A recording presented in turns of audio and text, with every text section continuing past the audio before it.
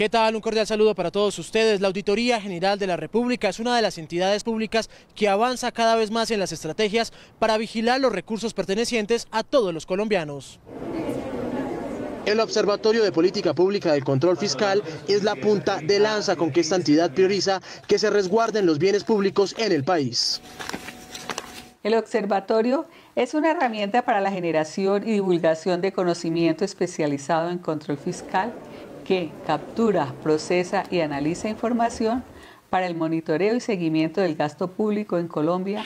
Herramienta que busca que desde la ciencia, la tecnología e innovación se combata la corrupción en colaboración con la Universidad Santo Tomás de Bogotá, en el cual se han desarrollado investigaciones con énfasis cualitativo y cuantitativo Investigaciones que por su rigor y profundidad otorgaron al observatorio el reconocimiento en la categoría C de Grupo de Investigación del Ministerio de Ciencia. La labor que cumple el observatorio es de vital importancia debido a que se ha constituido en un escenario generador de estudios y análisis del contexto del control fiscal territorial en el país.